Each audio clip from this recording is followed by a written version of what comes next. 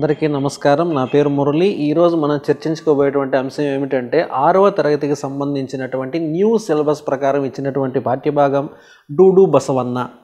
ఏ పాఠ్యభాగం? డూడు బసవన్న అనే పాఠ్యభాగం గురించి మనం చర్చించుకోబోతున్నాం. అయితే మనం లాస్ట్ వీడియోలో ఏం చెప్పామంటే డూడు బసవన్న పాఠ్యభాగం సంబంధించిన కవి పరిచయం వాటి వివరణ అనేది మనం చె- ఉద్దేశం చెప్పుకుంటూ వచ్చాం. అయితే మనం స్టార్టింగ్లో ఒక పిక్చర్ను టెక్స్ట్ బుక్లో పిక్చర్ను చూస్తే అక్కడ చాలామంది అందమైనటువంటి ముగ్గులు వేస్తూ ఉన్నారు. ముగ్గుల మీద గొబ్బెమ్మలను ఏర్పాటు చేస్తున్నారు. గొబ్బెమ్మల పైన పుష్పాలను ఏర్పాటు చేస్తూ మనకు అక్కడ చిత్రంలో కనిపిస్తూ ఉన్నారు. చాలా ఆనందంగా ఉన్నారు చాలా హ్యాపీగా ఉన్నారు. ఇది ఈ గొబ్బెమ్మలు వే- ఏ సమయంలో పెడతారు? ఈ అందమైనటువంటి ముగ్గులు ఏ సమయంలో కలర్ఫుల్గా స్త్రీలు వేస్తూ ఉంటారు అనే విషయం గురించి మనం మాట్లాడితే ఒక సంక్రాంతి పండుగ రోజు మాట్లాడతా వేస్తారు ఈ ముగ్గులన్నీ మనం ఇక్కడ చెప్పుకోవచ్చు. సంక్రాంతి పండుగ రోజు గంగిరెద్దుల ఆట అనేది ఒక చాలా ప్రాచుర్యం పొందినటువంటి ఒక కళ. ఆ అటువంటి గంగిరెద్దుల ఆట ఈనాడు కనుమరుగైపోతూ ఉంది. అటువంటి ప్రాచీన కాలంలో చాలా అభివృద్ధి చెందినటువంటి కళలు నేడు మరుగున పడిపోతూ ఉన్నాయి. వాటిని పిల్లలకు సాంప్రదాయబద్ధంగా అందించాలి అనేటువంటి ఉద్దేశంతోనే ఈరోజు డూడు బసవన్న అనే పాఠ్యభాగం మనకు ఒక లెసన్గా ఇవ్వడం జరిగింది. అయితే దీన్ని పరిచయం చేస్తున్నటువంటి కవి ఎవరు అంటే రావూరి భరద్వాజ. ఈయన గురించి మనం మాట్లాడితే విమల అనే మొట్టమొదట తొలి కథ రాయడం ఆ తర్వాత ముప్పై ఏడు కథా సంపుటాలు పదిహేడు నవలలు నలభై మూడు పిల్లల కథలు రాసి చరిత్రలో తనకంటూ ఒక ప్రత్యేక స్థానాన్ని సంపాదించుకున్నటువంటి వ్యక్తి రావూరి భరద్వాజ. ఈయన గురించి ఎంత చెప్పినా తక్కువే అనేకమైనటువంటి అవార్డ్స్ సంపాదించుకున్నటువంటి వ్యక్తి. అయితే గంగిరెద్దుల వారి జీవన విధానాన్ని తెలియజేస్తూ గంగిరెద్దులు అంటేనే కొంతమంది పిల్లలకు అది ఎలా ఉంటుంది అని ప్రశ్నించే పరిస్థితుల్లో ఈనాడు ఉన్నారు. అటువంటి వారికి గంగిరెద్దుల గురించి తెలియజేస్తూ ఆ కళ యొక్క గొప్పతనాన్ని గురించి తెలియజేయడమే ఈ పాఠ్యభాగం యొక్క ముఖ్య ఉద్దేశంగా ఉంటుంది. కాబట్టి దీన్ని వన్ బై వన్ చదువుకు చదువుతూ టెక్స్ట్ బుక్ చూస్తూ రండి. చదువుతూ నీట్గా ఎక్స్ప్లెయిన్ చేస్తూ వస్తాను. మీకు అర్థం అవుతూ ఉంటుంది. అయితే ఈరోజు మనం చెప్పుకోబోయేటువంటి పాఠ్యభాగం డూడు బసవన్న ఎక్కడి నుంచి తీసుకోబడింది అంటే జీవన సమరం అనే యథార్థ జీవుల యథార్థ గాథల పుస్తకం నుంచి తీసుకోబడింది. జీవన సమరం కానీ యథార్థ జీవుల యథార్థ గాథల పుస్తకం అనేది తీసుకోబడింది అనే విషయాన్ని మనం గుర్తుపెట్టుకోవాలి. అయితే స్టార్టింగ్లో మీరు చూడండి. డూడు బసవన్న అక్కడ ఒక వ్యక్తి గంగిరెద్దును అక్కడ అలంకరించిండే విధాన్ని చూడండి. దానికి అందమైనటువంటి గజ్జెలు కట్టాడు. అదేవిధంగా దాని కొమ్ములకు రకరకాలైన అందంగా అలంకరించాడు. దాని మీద ఒక బెడ్షీట్ లాంటిది వేసాడు. ఓకేనా దాని అలంకరణ పూర్తి అయితే వాళ్ళు చూస్తే ఒక వ్యక్తి ఏమో మేళం ఊపుతున్నాడు ఒక వ్యక్తి ఏమో డోలు కొడుతూ ఉన్నాడు ఒక వ్యక్తి గంగిరెద్దుకు సహాయకారిగా ఉన్నాడు. అక్కడ మనకు పిక్చర్లో అక్కడ కనిపిస్తూ ఉంది. ఈ గంగిరెద్దుల ఆట ఏ విధంగా ఆడిస్తారు అనేది మనం చూస్తూ వద్దాం. వాళ్ళు కొన్ని పాటలు కూడా పాడుతూ ఉంటారు ఆ సమయంలో. ఏమిటి అంటే ఆడ స్టార్టింగ్ నేను చదువుతాను ఒకసారి చూడండి మీరు టెక్స్ట్ బుక్లో. ప్రభువు గారికి దన్నం పెట్టు పాదం వంచి దన్నం పెట్టు చాటెడ గింజలు ఇస్తారంటూ చారెడు రోకలు ఇస్తారంటూ డూడు డూడు బసవన్న డూడు డూడు డూడు బసవన్న అని అక్కడ వాళ్ళు పాడిండేటువంటి ఒక చిన్న పాట మనం చూస్తే ప్రభువు గారికి దన్నం పెట్టు అక్కడ ఉండేటువంటి వ్యక్తికి దండం పెట్టు అని చెబుతూ పాదం వంచి దండం పెట్టు అంటే పాదం వంచి అది దండం పెడుతుంది. ఓకేనా చాటెడ చాటెడ గింజలు ఇస్తారంటూ అది చేసేటువంటి ఏది వీళ్ళు ఏది చెప్తే అదే చేయటం వల్ల మనం చూసి ఆనందపడతాం. ఆవేంది? ఒక మాట చెప్తే కిందికి పడుకో అంటే పడుకోవడం లేయి అంటే లేయడం దండం పెట్టంటే దండం పెట్టడం అలా తిరిగిరా అంటే అలా తిరిగి రావడం ఇవన్నీ మనుషులకు చెప్తే చేస్తారు. కానీ జంతువులు కూడా చేస్తున్నాయి. అందులో ఈ గంగిరెద్దు అనేది చేస్తుంది. చేసేటువంటి వాటి నైపుణ్యానికి మనం వాళ్ళకి ఏదో ఒకటి బహుమానంగా ఇస్తూ ఉంటాం. ఆ సమయంలో వాళ్ళు చెప్పేది ప్రభువు గారికి దండం పెట్టు పాదం వంచి దండం పెట్టు చారుడు గింజలు ఇస్తారంటూ చారుడు రోకలు ఇస్తారంటూ డూడు డూడు బసవన్న డూడు డూడు బసవన్న అని అక్కడ చెబుతూ ఉన్నారు అయితే నాగరికత అనేది రోజు రోజుకు పెరుగుతున్నది పెరగవలసిందే. అలా పెరుగుతున్నప్పుడు కొత్త సాంప్రదాయాలు కొత్త విలువలు వస్తాయి. ఇలా రావడంతో పాటుగా పాత ఆచారాలు కొన్ని మరుగు అవుతాయి మరుగవుతాయి అవుతున్నాయి. బొత్తిగా ఆచరణకు పనికిరానివి కాలంతో పాటు మారలేనివి ప్రయోజనం లేనివి మారినా కనుమరుగైన అంతగా బాధ ఉండదు. కానీ ఇలాంటి వాటిల్లో అంతో ఇంతో ఉండే అందచందాలు కూడా రూపుమాసి పోతున్నప్పుడే బాధ వేస్తుంది. అలా క్రమంగా కనుదాటిపోతున్న వాటిల్లో గంగిరెద్దు అనేటువంటి కళ ఒకటి. నాగరికత అనేది రోజు రోజుకు అభివృద్ధి చెందుతుంది. టెక్నాలజీ అభివృద్ధి చెందాల్సిందే. టెక్నాలజీ అభివృద్ధి చెందుతూ ఉంటేనే ఈనాడు పెరుగుతున్నటువంటి జరా జనాభాకు వాళ్ళకు కావాల్సినటువంటి వస్తువులు సమకూర్చాలి అంటే టెక్నాలజీ ఖచ్చితంగా పెరగాల్సిందే. కానీ అలా పెరుగుతూ ఉన్నటువంటి సమయంలో పాతగా ప్రాచీన కాలంలో ఏవైతే కళలు సంస్కృతి సాంప్రదాయాలు ఉంటాయి అవి కొన్ని కనుమరుగైపోతూ ఉంటాయి. ఇది కూడా సహజంగా జరుగుతున్నటువంటిదే. కానీ వాటిని నమ్ముకొని ఎంతోమంది జీవిస్తూ ఉంటారు. ఓకేనా? ఎంతోమంది జీవిస్తూ ఉన్నప్పుడు వాళ్ళ నా వృత్తిలాగా వాళ్ళు గంగిరెద్దుల ఆట అనేది ఒక వృత్తిలాగా వాళ్ళు చేస్తూ ఉంటారు. వాళ్ళకి ఎద్దులకు ఎంతో ట్రైనింగ్ ఇచ్చి వాళ్ళు చేస్తూ ఉంటారు. వాళ్ళను కూడా మనం గుర్తుపెట్టుకోవాల్సినటువంటి అవసరం ఉంది. మన సాంప్రదాయాలు ఏంటి? మనం ఈరోజు గంగిరెద్దులు కనుమరుగైపోతున్నప్పటికీ కనీసం ఒకప్పుడు ఇలాంటి కళ ఉన్నది. ఇలా చేసేవారన్నా తెలుసుకోవాల్సిన అవసరం ఉంది కాబట్టి ఈ పాఠ్యభాగం ద్వారా మనం తెలుసుకోబోతున్నాం. అయితే ఇక్కడ చూస్తే గంగిరెద్దు ఆట చాలా ప్రాచీనమైందని చెప్పుకోవచ్చు. చాలా ప్రాచీన కాలం నుంచి వచ్చింది. అయితే పరమేశ్వరు అంతటి వాడు తన నంది చేత ఈ ఆట ఆడించాడు. మరి మహా చక్రవర్తులు యవనరాజులు రాజులు దేశమంతా చిత్తు ఒత్తుగా ఉన్న రోజుల్లో ఈ ఆట మరింత దేదీప్యమానంగా ఉండేదేమో. ఎందుకంటే అప్పట్లో వెలువడిన పుస్తకాలు చూస్తూ ఉంటే వాటిల్లోని రాకుమారులు రాజకుమార్తెలు ఈ గంగిరెద్దులాటలు చూసి ఆనందించిన ఘట్టాలు కనిపిస్తాయి. ప్రారంభంలో ఇదొక వినోద క్రీడగా మొదలైన రాను రాను గంగిరెద్దును ఆడించడం ఒక వృత్తిగా మార్పు చెందింది. ఇప్పుడు ఆ వృత్తికి తిలోద కాలివ్వాల్సిన కాలివ్వవలసి వచ్చిందంటున్నాడు బసవయ్య. ఇది ఒకప్పుడు పరమేశ్వరుడు. త్రిమూర్తుల్లో ఒకరైనటువంటి బ్రహ్మ విష్ణు మహేశ్వరులను మనం చెప్పుకుంటున్నాం కదా. అందులో పరమేశ్వరుడు అనే అతను తన వాహనం ఏది? నంది. ఆ నంది చేట మొట్టమొదటిగా ఈ గంగిరెద్దు ఆట ఆడిచ్చాడట. అది ఆ తర్వాత కాలంలో వచ్చినటువంటి చక్రవర్తులు రాజులు మహారాజులు వీళ్ళంతా దాన్ని ఎంతో అభివృద్ధి చేస్తూ ప్రచారం చేస్తూ దాన్ని సమయం వచ్చినప్పుడు పండగలు వచ్చినప్పుడు ఆడిస్తూ దాన్ని చేస్తూ రావడం జరిగింది. అలా చేస్తూ ఉన్నప్పుడు దాన్ని ఇలా ఆడించడం ఆడించి ప్రజలను ఆనందపరచడం ఇలాంటి కార్యక్రమం అనేది అక్కడ ఉన్నటువంటి ప్రజలు ఏం చేసుకున్నారంటే తమ జీవన విధానంలో ఒక భాగంగా ఇదే ఒక వృత్తిగా అలవాటైపోయి ఈ గంగిరెద్దులాట అనేది ఆడించడం జరుగుతూ ఉంది. ఈ గంగిరెద్దులాట ఆడించే సమయంలో ఎక్కువ సంక్రాంతి పండుగకు మాత్రమే ఇది పేరు మోసింది. మిగతా రోజుల్లో అక్కడక్కడ ఉండొచ్చేమో తెలియదు కానీ సంక్రాంతి పండుగ రోజు మాత్రం ఈ గంగిరెద్దులాట అనేది చాలా ప్రచారం పొందింది. వాళ్ళు ఒక వృత్తిగా దీన్ని చేసుకున్నారు. కానీ ఈనాడు అది ఆ గంగిరెద్దులాట అనేది చాలా కనుమరుగైపోతుంది అనేది మాత్రం అది కూడా నిజమే అని మనం ఇక్కడ ఒప్పుకోవాలి. కనీసం పల్లెటూళ్ళల్లో అయినా ఈ కళ అనేది బతికుంది అంటే చాలా వరకు తగ్గిపోతుంది అనే విషయాన్ని మనం గుర్తుంచుకోవాలి. బసవయ్యది చాలా పెద్ద కుటుంబం. వచ్చిందంటున్నాడు బసవయ్య అన్న. బసవయ్యది చాలా పెద్ద కుటుంబం. ఆరుగురు అన్నదమ్ముల్లోనూ పెద్దవాడు. ఇక్కడ బసవయ్య కుటుంబం గురించి మనం మాట్లాడుతున్నాం ప్రస్తుతం. ఆ బసవయ్య కుటుంబం గురించి ఏ విషయాలు ఏమి అనేది మనం ఒకసారి ఇక్కడ చూద్దాం. ఒకసారి చదువుతాను చూడండి. బసవయ్యది చాలా పెద్ద కుటుంబం. ఆరుగురు అన్నదమ్ముల్లోనూ పెద్దవాడు బసవయ్య. తండ్రి వెంట ఊరూరు తిరగటం తండ్రిని గమనిస్తూ ఉండటం ఆయన మాటల్ని పద్ధతులను అనుకరిస్తూ ఉండటంతో చిన్నతనం నుండి ఈ ఆటలోని మెలకువలన్నీ అవగతమయ్యాయి. తండ్రి బసవా అని కేక వేసి ఎద్దు చేత ఒక్కో మోలి చేయిస్తున్నప్పుడు బసవయ్య ఆ మోలికి అనుగుణంగా రామ్డోలు వాయించేవాడు. ఇక్కడ బసవయ్య ఇది చాలా పెద్ద కుటుంబం. ఆరుగురు అన్నదమ్ముల్లోనూ చాలా పెద్దవాడు ఈ బసవయ్య. తండ్రి వెంట ఊరూరు తిరుగుతూ ఈ గంగిరెద్దులాట వేస్తున్నటువంటి సమయంలో తన తండ్రి ఏవైతే చేస్తున్నాడో ఆ పద్ధతులు కానీ ఆ మాటలు కానీ వాటిని అనుకరిస్తూ చిన్నతనం నుండి తన తండ్రి వెంట ఉండటం వల్ల తన తండ్రి ఏదైతే చేస్తూ ఉండేవాడో అవే తనకు అలవాటుగా ఉండిపోయాయి. ఇలా అలవాటుగా ఉండిపోతున్నటువంటి సమయంలో తన తండ్రికి అనుగుణంగా ఏదైతే మోలి అనేది చేస్తూ ఉంటారో అప్పుడు డోలు వాయించాలి ఒక చేత్తో అని తెలుసుకునేటువంటి వాడు. దానికి రామ్ డోలు అనే పేరుతో వాయిస్తూ ఉండేటువంటి వాడు. ఎవరు? ఎవరు వాయిస్తూ ఉండేవారు? బసవయ్య. ఓకేనా? బసవయ్య తండ్రి ఏ విధంగా అయితే చేస్తున్నాడో తనకు అనుగుణంగా ఇతను కూడా ఉండేవాడని మనం ఒక విషయాన్ని ఇక్కడ తెలుసుకుంటూ వస్తాం.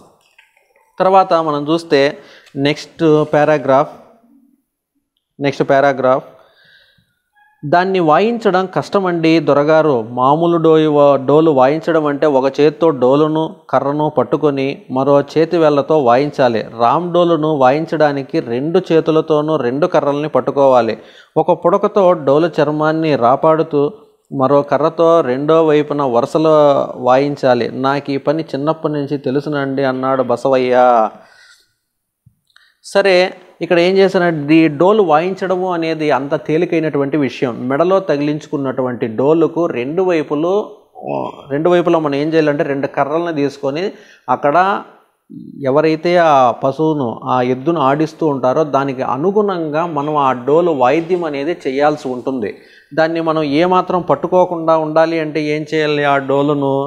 మెడలో తగిలించుకోవాలి. మెడలో తగిలించుకొని దా అక్కడ ఎవరైతే ఆ ఎద్దును ఆడిస్తూ ఉంటారో దానికి అనుగుణంగా వాళ్ళు ఏవైతే చెప్తూ ఉంటారో దానికి తగ్గట్టుగా ఇక్కడ డోలు అనేది వాయించడం అవసరం అవుతుంది ఇది బసవయ్యకు చిన్నప్పటి నుంచి వాళ్ళ తండ్రిని చూస్తూ పెరిగాడు కాబట్టి అతను చేస్తున్నటువంటి విషయాలను బాగా అనుకరించాడు కాబట్టి ఇతని చాలా బాగా గుర్తు కాబట్టి అలా చేస్తూ ఉండేటువంటి వాడు బసవయ్య.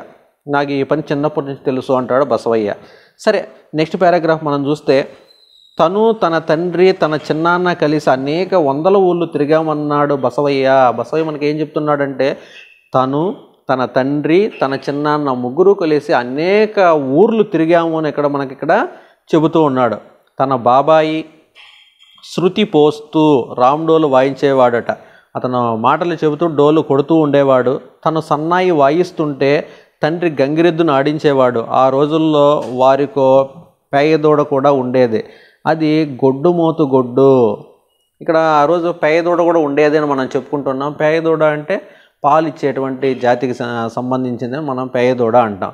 అయితే మనం ఫస్ట్ పిక్చర్ చెప్పినట్టుగా ఒకరేమో సన్నాయి ఊదుతూ ఉండేవారు. అక్కడ చూడండి బొమ్మను సన్నాయి నోట్లో పెట్టుకొని ఊతున్న పెళ్ళిళ్ళకి కూడా మనకు ఊపుతూ ఉంటారు.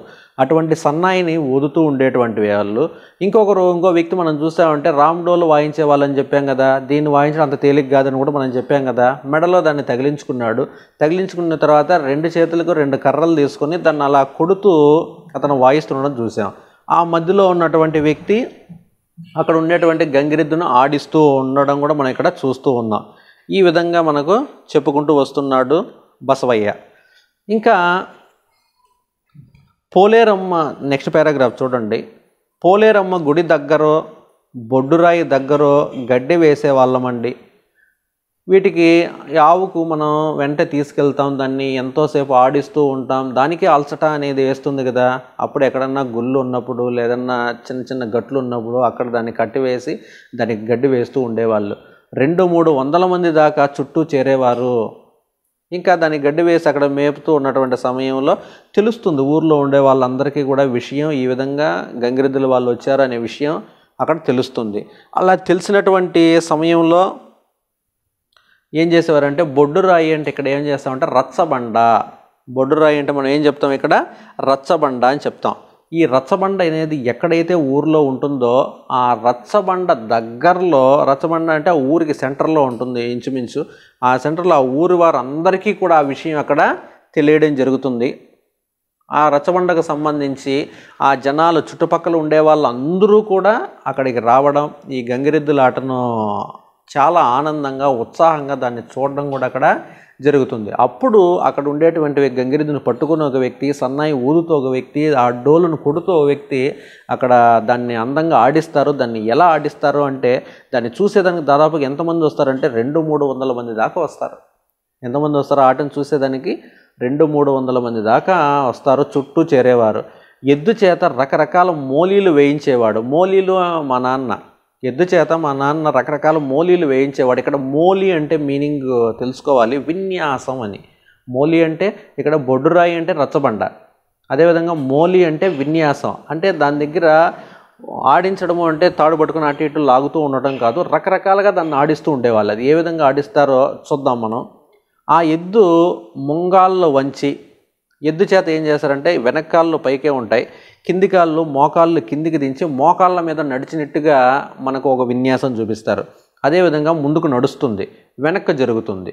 మోకాళ్ళ మీదనే ముందుకు నడుచుకుంటూ వస్తుంది అదేవిధంగా వెనక నడుచుకుంటూ వెళ్తుంది. ఇటువంటి విన్యాసాన్ని ఆ గంగిరెద్దు దగ్గర చేయిస్తూ ఉండేవాళ్ళు. ఇంకా ఒంటి కాళ్ళతో దండం పెడుతుంది. నాలుగు కాళ్ళు ఉంటాయి ఎద్దుకు. ఆ నాలుగు కాళ్ళు ఉన్నప్పుడు ఒంటి కాళ్ళతో దండం పెడతాం. మూడు కాళ్ళు భూమి మీద ఉంటాయి. దండం పెట్టు. అని చెప్పిన సమయంలో ఒక కాళ్ళు మాత్రం అది ముడుచుకొని దండం పెట్టినట్టుగా మనకు అక్కడ చూపిస్తుంటుంది. ఒకటి మోకాళ్ళ మీద ముందుకు రావడం వెనక రావడం నేర్పించారు. రెండోది ఏం చెప్తున్నారు ఇక్కడ? ఆ విన్యాసాలు చేస్తున్నారు. చుట్టూ జనాలు చేరి చూస్తున్నటువంటి సమయంలో ఆ విన్యాసాలను అక్కడ చేయిస్తూ ఉన్నారు. అందులో మోకాళ్ళ మీద ముందుకు రావడం వెనక్కి రావడం. ఇంకోటి మూడు కాళ్ళ మీద ఉంటూ ఒక కాళ్ళతో దండం పెట్టడం కూడా అక్కడ నేర్పిస్తూ ఉన్నారు. ఓకే ఇంకా కాదు అవును అని తలతో సైగ చేసేది. ఇంకా కాదు అన్నప్పుడు ఒక విధంగాను అవును అన్నప్పుడు ఇంకో విధంగాను ఆ ఎద్దు చేత సైగ చేయించేవాళ్ళు. రాండోలు వాయిద్యానికి అనుగుణంగా గంతులు వేసేది. ఎప్పుడైతే ఇక్కడ మెడలో తగిలించుకొని రాండోలను మనం చెప్తున్నామో ఆ డ్రమ్స్ ఎప్పుడైతే కొడతామో ఆ డ్రమ్స్ ఏ విధంగా కొడతారో దానికి తగ్గట్టుగా అది డ్యాన్స్ వేసినట్లుగా గంతులు వేసేదన్నమాట. ఒక రకంగా కొట్టినప్పుడు డ్రమ్స్లో రకరకాల మ్యూజిక్స్ మనం కొట్టచ్చు కదా. అదేవిధంగా ఒక రకమైన దొరువుకు ఒక విధంగా డ్యాన్స్ వేసేది ఇంకో రకమైన దొరువుకు ఇంకో విధంగా డ్యాన్స్ వేసేది. ఆ విధంగా గంతులు వేసేది కూడా మనకు అక్కడ చూస్తూ ఉంటాం. ఇంకా అలిగేది కోపగించుకునేది అలగడం ఎవరన్నా పిలిస్తే రాకపోవడం ఏం అలిగావంటే అలిగాను దూరంగా వెళ్ళిపోవడం ఇలాంటివి కూడా అది చేస్తూ ఉండేదని మనం ఇక్కడ తెలుసుకోవచ్చు. అలగడం అలగడం నేర్పించారు ఎద్దుకు. అదేవిధంగా కోపగించుకోవడం నేర్పించారు. ఆనందంతో చిందులు దొక్కేది. ఆనందంతో గంతులు వేసేది కూడా దానికి నేర్పించారు. ఇంకా కోపంతో కాలు దువ్వి తోకమట్ట ఎగబట్టి రంకిలు వేసేది. కోపం వచ్చినప్పుడు కాళ్ళు వెనక్కి దీడి తోక పైకి ఎత్తి కోపాన్ని చూపించే విధానాన్ని కూడా దానికి అక్కడ నేర్పించారు. ఏ పని చేయమంటే ఆ పని శుభ్రంగా చేసేదండి అన్నాడు బసవయ్య. బసవయ్య మనకు చెప్తున్నాడు వాళ్ళ నాన్న వెనకంటే వెళ్ళి తను చూసినటువంటి విషయాలను మనతో షేర్ చేసుకుంటున్నాడు మనకు పంచుకుంటూ ఉన్నాడు. ఈ విధంగా ప్రతి ఒక్కటి మోకాళ్ళ మీద నడవటం ముందుకు రావడం వెనక్కి పోవడం అదేవిధంగా ఒంటికాళ్ళతో దండం పెట్టడం సైగలు చేయడం గంతులు వేయడం అలగడం కోపగించుకోవడం కాళ్ళు దువ్వడం తోక ఎగబెట్టి రంకి వేయడం కోపాన్ని ప్రదర్శించి చూపించడం. ఇలా మా నాన్న ఏది చెబితే అది ఎలా చెబితే అలా చేసేది నేను చిన్నప్పటి నుంచి మా నాన్న దగ్గర చూశాను అని ఎవరు చెప్తున్నారు ఇక్కడ మనకు?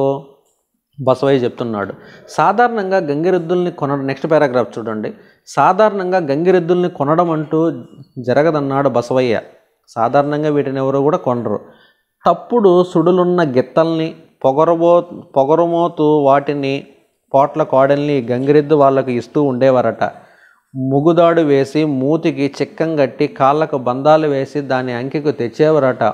ఒక్కో గిత్తం మూడు నాలుగు మాసాలకల్లా విద్యలన్నీ నేర్చుకుంటే మరొక దానికి నేర్పడానికి ఏడెనిమిది మాసాలు కూడా పడుతుందన్నాడు బసవయ్య.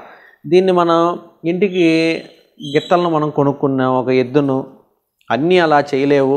మనం పరిస్థితులను బట్టి దాని యొక్క బిహేవియర్ని బట్టి ఆరోగ్యాన్ని బట్టి మనం ఆ ఎద్దును కొనుగోలు చేయాల్సి ఉంటుంది. అలా కొనుగోలు చేసిన తర్వాత దానికి దాని పొగరు తగ్గే దానికోసం దానికి ముగ్గు ముక్కుకు తాడు వేయడం. ఓకేనా ఫస్ట్ దాన్ని మనం మనల్ని ఏమి అనకుండా చూసుకునే విధంగా ఫస్ట్ దాన్ని తయారు చేసుకోవాలి. కొన్ని ఎద్దులను మనం చూస్తే కనిపిస్తేనే మనుషులు పొడి చేస్తూ ఉంటాయి. అలాంటి వాటితో మనం ఎటువంటి విన్యాసాలు చేయించలేము చాలా కష్టం అవుతుంది. కాబట్టి పొగరు తగ్గేదానికోసం మనకు అది అలవాటు పడేదానికోసం చాలా టైం పడుతుంది. అలా టైం పట్టిన తర్వాత వాటి ద్వారా వాటికి ఎన్నో రకాలుగా ట్రైనింగ్ ఇచ్చి దాని విషయాలను మనం తెలుసుకోవాల్సిన అవసరం ఉంటుంది. మనం చెప్పింది దానికి అర్థమయ్యే విధంగా ఇప్పుడు నీళ్ళు తాగుదురా అంటే కొన్ని పశువులు వచ్చేస్తూ ఉంటాయి. ఆ విధంగా ఒకటే కాదు అన్ని విన్యాసాలు నేర్పించాలంటే చాలా టైం పడుతుంది. కొన్ని పశువులకైతే మూడు నాలుగు మాసాల కల్లా విద్యలు నేర్చుకుంటే మరికొన్ని పశువులు ఏడెనిమిది మాసాలు వచ్చినా సరే నేర్చుకునేది కష్టంగా ఉంటుంది. అవి ఇంత కష్టం ఉంటుంది వాటికి నేర్పించాలి అంటే ఆ చిన్న చిన్న విన్యాసాలు అయినా సరే అయినా నేర్పిస్తున్నారు. ఎందుకు అంటే ఆ కళను కాపాడడం కోసం అవి నేర్పించడం జరుగుతుంది. ఆ కళ అనేది నేడు కనుమరుగవుతుంది. అదే బాధాకరం అని ఇక్కడ మనం మాట్లాడుకోవాలి ఈ లెసన్ ద్వారా.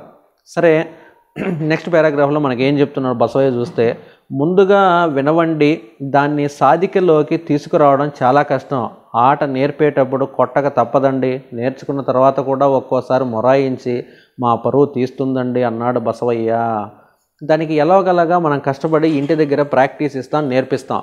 కానీ అది మనం వేరే రచ్చబండి తీసుకొచ్చాం రెండు వందల మంది చూస్తూ ఉన్నారు రెండు వందల మంది చూస్తున్న సమయంలో ఒక్కొక్కసారి అది ఏం చేస్తుందంటే నేను చెప్పింది చేయదు మనం ఏం చెప్తాం? నేను ఏది చెప్పినా చేస్తుందని అక్కడ ప్రకటిస్తాం. ప్రకటించినప్పుడు ఆవు ఏం చేస్తుంది? ఆ ఎద్దు ఏం చేస్తుందని చుట్టుపక్కల ఉండే రెండు వందల మంది మన వైపే చూసుకుని ఉంటారు. అలా చూసుకున్నటువంటి సమయంలో ఒక్కొక్కసారి అది మొరాయిస్తుంది. మనకు ఆరోగ్యం బాగాలేనప్పుడు కొంచెం ఏ విధంగా అయితే నీరసంగా ఉంటాం ఒక్కొక్కసారి దానికి ఇష్టం లేక ఇంట్రెస్ట్ లేక లేకంటే ఏవో కారణాల చేత అది ఒక్కొక్కసారి మొరాయిస్తుంది. అటువంటి సమయంలో మా పరువు పోయేటువంటి అవకాశం కూడా ఉంటుంది. అయినా సరే మేము మా కళను కాపాడడం కోసం మేము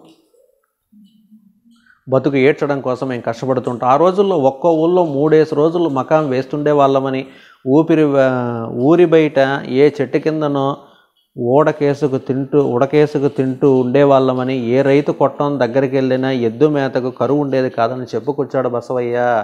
ఇలా ఇల్లు ఈ గంగిరెద్దులాట ఆడేవాళ్ళు ఏమి అంటే ప్రతి ఊర్లో గంగిరెద్దులు ఆడేవాళ్ళు ఉండరు. కొన్ని ఊర్లలో ఉంటారు. వాళ్ళు ఈ పండగ సంక్రాంతి పండుగ వచ్చినప్పుడు ముఖ్యంగా ఊరు ఊరు తిప్పుతారు. ఒక ఊరికి వెళ్తారు. ఆ ఊర్లో ఒక రెండు మూడు రోజులు ఉంటారు. అక్కడే ఏదైనా ఒక మకం ఏర్పాటు చేసుకుంటారు. ఏర్పాటు చేసుకుని అక్కడే అన్నం మెతుకులు ఉడకేసుకుని అక్కడే తింటూ ఓ మూడు రోజులు అక్కడే కాలక్షేపం చేస్తారు. ప్రతిరోజు సాయంత్రం ఈ గంగిరెద్దులాట ఆడించడం ఆ ప్రజలను అక్కడ ఉల్లాసపరచడం మరి ఇంకో ఊరికి వెళ్ళడం అక్కడ ఓ మూడు రోజులు ఉండటం ఇలాంటివి చేసుకుంటూ వాళ్ళ బతుకు ఈడుస్తూ ఉంటారు. అయితే ఈ ఎద్దులకు ఎక్కడికి వెళ్ళినా సరే ఎవరి కొట్టం దగ్గరికి వెళ్ళినా సరే గడ్డికి కొదవ అనేది ఉండేది కాదని మనకు బసవయ్య ఇక్కడ తెలియజేస్తున్నాడు. నెక్స్ట్ పారాగ్రాఫ్ మనం చూస్తే పోటీలు పడి ఆడించే వాళ్ళు బాబయ్య. ఒకప్పుడు ప్రాచీన కాలంలో చాలా ప్రచారంలో ఉన్నింది కాబట్టి చాలామంది ఈ వృత్తికి అలవాటు పడ్డారు కాబట్టి పోటీలు పడి ఒకరికి మించి ఒకరు ఆడించే వాళ్ళు వాటి చేత ఆ ఎద్దుల చేత చెప్పిన మాట వినేటట్టు చేయించేవాళ్ళు ఇంకా ఆ చూసేదానికి చాలామంది వస్తారని చెప్పి వంద మంది వస్తారు రెండు వందల మంది వస్తారు ఇంకా ఎక్కువ మంది కూడా రావచ్చు. ఆనాడు ఈనాడు చూసేది ఎంతమంది పోతారో తెలియదు కానీ ఆ రోజు మాత్రం చాలా ఎక్కువ మంది వచ్చేవాళ్ళు. ఇలా వచ్చినప్పుడు వాళ్ళు చూసిన తర్వాత వాళ్ళు మెచ్చి బాగుంది అనిపించుకొని వాళ్ళు ఏదో ఒకటి కానుకలు కూడా సమర్పించడం జరుగుతుంది. ఆ కానుకలు ఎలా ఉంటాయి అంటే పాత పంచెలు వాళ్ళు కట్టుకున్నటువంటి పాత పంచెలు కానీ ఉత్తరీయాలు టవళ్ళు కానీ ఇంకా చొక్కాలు చీరలు రవికలు మోటడు దొరికేవి. వాళ్ళు చూసిన తర్వాత వాళ్ళ దగ్గర ఉండేటి ఏవైనా సరే కొన్ని పాత బట్టలు కానీ ఇంకే కొత్త బట్టలు కానీ ఏవైనా సరే వాళ్ళు తృప్తిగా ఇచ్చేటువంటి వాళ్ళు మూటకు దొరికేవి. గంగిరెద్దుకి ఆవుకు మేత దాన ఊరి వాళ్ళు పోటీల మీద పంపించేవారు. ఇంకా గంగిరెద్దుకు కానీ మాకు కానీ వీలైనంతవరకు ఆహార పదార్థాలు అనేది ఆ ఊర్లో ఉండే వాళ్ళే ఏర్పాటు చేస్తూ ఉండేవాళ్ళు. క్రమంగా చూస్తూ చూస్తూ ఉండగానే ఆ కాలం కళ్ళ ముందే దాటిపోయిందండి. అలా చూస్తూ చూస్తూ ఉండంగానే గడిచిపోతూ ఉంది కాలం. బస్తీల ముఖం చూసి ఎన్నాళ్ళయిందోనండి. మరి మారుమూల పల్లెటూళ్ళను పట్టుకుని వేలాడుతున్నా ఇదివరకు చాటలతో గింజలు పెట్టేవాళ్ళు. ఇప్పుడు గుప్పెళ్ళతో వేస్తున్నారు. లేదా ఐదు పైసలో పది పైసలో పడేస్తున్నారు. నా తమ్ముళ్ళందరూ కూలి పను నాలి పను చేసుకుంటున్నారు. ఒకప్పుడు ఎంతో ఆదరణ పొందింది. ఇంటి దగ్గర ఇంట్లో ఉండేటువంటి బట్టలు వేసేవాళ్ళు ఎక్కడికన్నా బియ్యం కావాలని అడిగితే చాటతో ఎత్తుకుని కుమ్మరించేటువంటి వాళ్ళు. కానీ ఇప్పుడు అది కనుమరుగవుతూ ఉన్నటువంటి సమయంలో ఇప్పుడు వెళితే చాటతో వేసేవాళ్ళు చేతి దోసిలితోనో లేకంటే కొన్ని పిడికిడి భీమో ఎత్తకొచ్చి వేస్తూ ఉన్నారు. ఇంకా అది కూడా లేదు అంటే ఒక ఐదు పైసలు నాణ్యం కానీ పది పైసలు నాణ్యం కానీ ఎత్తకొచ్చి చేస్తున్నారు కానీ నా ఈ వృత్తి అనేది కనుమరుగైపోవడంతో నా తమ్ముళ్ళు కూలి పనో నాలి పనో చేసి ఎలాగలాగా బతుకు ఏడుస్తున్నామండి అని చెప్పుకుంటూ ఉన్నాడు. ఇదిగో నేను మా లింగమయ్య మాత్రం ఇంకా బసవదేవులను నమ్ముకొని బతుకొస్తున్నా. నా తమ్ముళ్ళందరూ కూడా కూలి పని నాలుగు పని చేసి ఎలాగలా బతికి ఏడుస్తున్నారు. ఈ కల కనుమరుగైపోతూ ఉంది. కానీ బసవయ్య అతనితో పాటు లింగమయ్య మేమిద్దరం మాత్రం ఎలాగలాగా ఈ బసవన్నే నమ్ముకొని మేము బ్రతుకుతున్నామని చెప్తున్నారు. అసలు మాదే ఊరు పొట్ట చేత పట్టుకొని ఊరూరా తిరిగే వాడికి ఒక ఊరుంటూ ఉంటే గడుస్తుందా బాబు? పొట్ట పట్టుకొని ఈ ఆవును నమ్ముకొని మేము ఏ ఊర్లో ఉంటామని చెప్తే ఏం చెప్పగలం అని చెప్తూ ఉన్నాడు. ఏ ఊరు పచ్చగా ఉంటే అదే మా ఊరు. ఏ ఊరు అయితే మా కళను ఆదరిస్తుందో గంగిరెద్దుల ఆటను ఇష్టపడుతుందో ఆ ఊరే మా ఊరు అని ఇక్కడ మాకు బసవయ్య చెబుతూ ఉన్నాడు.